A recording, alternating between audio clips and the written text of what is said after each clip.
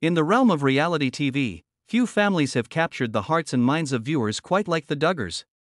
Known for their large family dynamics and traditional values, the Duggars have become a staple in American pop culture, particularly through their shows like 19 Kids and Counting and its successor, Counting On.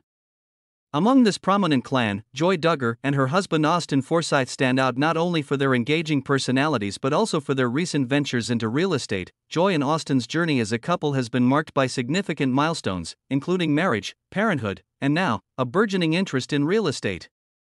The couple resides in Arkansas, a state known for its picturesque landscapes and affordable housing market, making it an ideal backdrop for their family life.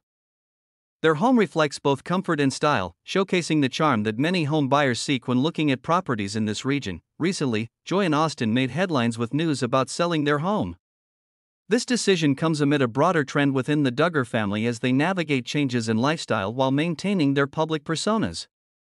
Selling a house can be daunting, however, with the right strategies rooted in understanding the local real estate market, it can also be an exciting opportunity for growth. The real estate market in Arkansas has seen fluctuations over recent years, making it essential for sellers like Joy and Austin to stay informed about property values and buyer preferences.